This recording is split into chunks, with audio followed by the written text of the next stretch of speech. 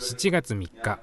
松山市内の公園に設置された遊具などの安全一斉点検が行われました。点検に参加したのは松山市公園管理協力連絡協議会のメンバーや遊具の修繕業者松山市公園緑地課の職員などおよそ170人です。夏休み前ということで、まあ、恒例の点検でございますけれども、これにつきましても、やはり怠ってはならないということが一つございまして、やはり皆さんが日頃、えー、点検していただいたのを、さらに、えー、ここで、えー、もう一つ力を加えて点検していくということが大事だろうと思います。出発式の後、参加者らは班に分かれ、松山市内の122の公園に向かいました。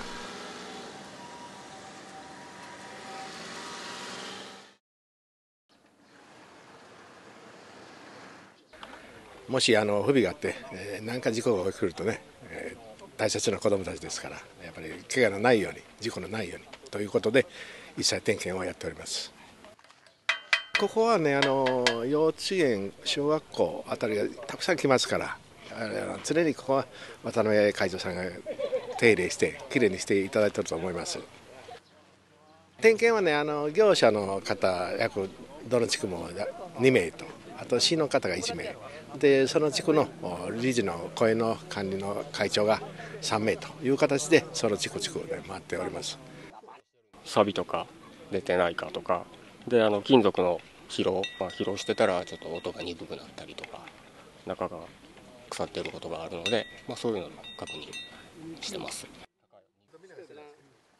事故を未然に防ぐための大切な点検